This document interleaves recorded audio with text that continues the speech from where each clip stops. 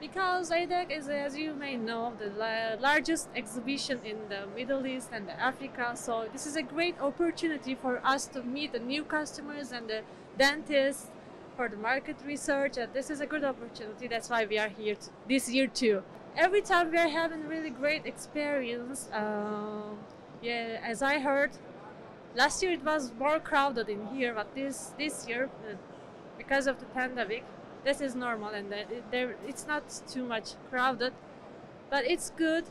I feel safe in here because the rules are uh, fol- followed by everyone. Everyone is wearing masks and getting pcr test and the stands are like applying the rules like having that acrylic board like while you are talking to the uh, visitors.